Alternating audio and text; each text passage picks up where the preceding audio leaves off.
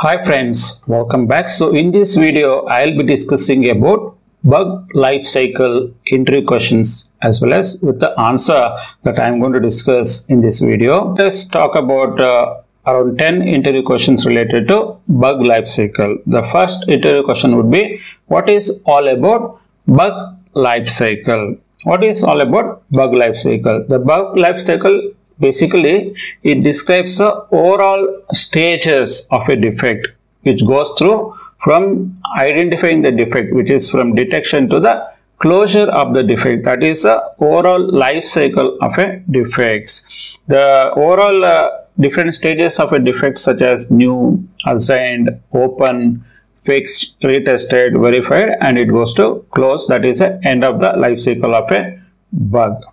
The next question would be what are the key stages of bug life cycle? What are the key stages of bug life cycle? The first stage would be the bug reported for the first time, which is in the new state. So once the bug is in new state, what happens? It is getting assigned to a developer for the resolution or for fixing it. Once uh, it is assigned, the developer begins to work on the bug which is in the open status. When developer is working on. And uh, when the developer is fixing that issue which is moved into resolved status which will be in the fixed status of the defect. And the, the tester would be checking if the bug is fixed or not. That's when the retesting will happen. And verified stage where it is getting confirmed that bug is fixed and not reoccurring. That is when the defects or bug will be in the verified status. And closed status when the bug is the bug is resolved and no longer active that is the closed status. And uh, there is one more status which is called as a reopen defects.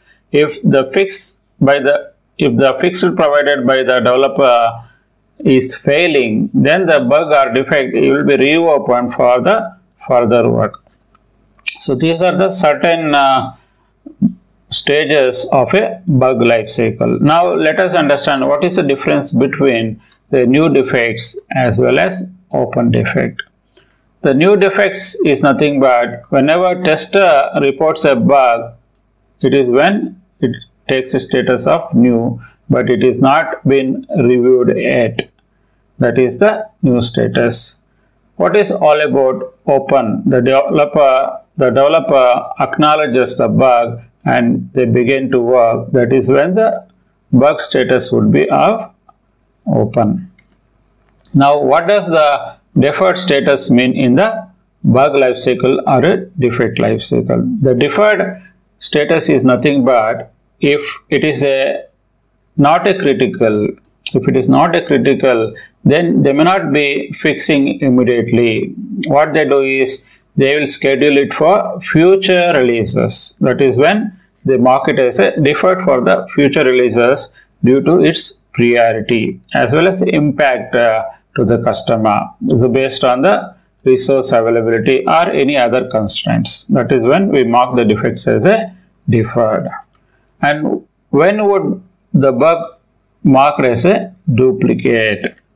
The bug is marked as duplicate when it is already been reported earlier and exists in the system and a different bug ID that those defects we mark it as a duplicate of the bug. What is the difference between rejected and closed status bug?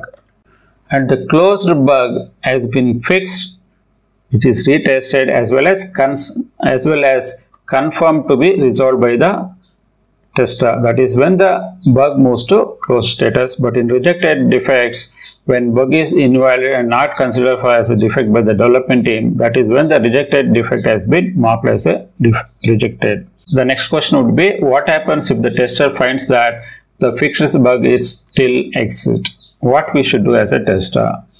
If bug is uh, still open we are able to reproduce it, then what we should do is we should reopen that defect and uh, we should enter additional information as well like uh, what is our further investigation, what we are trying to see and that information we have to give to development team so that they can fix those uh, issues. what is the role of a tester plays in the bug life cycle? That is the next question. So here the tester basically reports a bug or a defect and uh, even he does a retest once a bug is been fixed and verifies that issue has been resolved and closes the bug if everything is in order. That is the overall uh, role of the tester he plays during the bug life cycle. What does the priority and severity affects the bug life cycle? The priority is nothing but it determines how soon the bug or defect should be fixed based on the business impact. That is all about priority. What is all about severity? The severity reflects the extent to the which the bug affects the software functionality. The high priority means which is very severe bugs are usually addressed first, which is very important for the customer because that is impacting the critical functionality that is the severity. The priority is again the impact with the business if we are not going to fix the defect that we are going to address as a priority and severity will be identified based on the criticality of the functionality. What tools can help to track the bug life cycle? What are the tools? The answer is there are certain tools like Jira, Bugzilla, ALM, Mantis. These are the certain tools which we can use to manage the defects or bugs and monitor the status and progress of defects throughout the bug life cycle.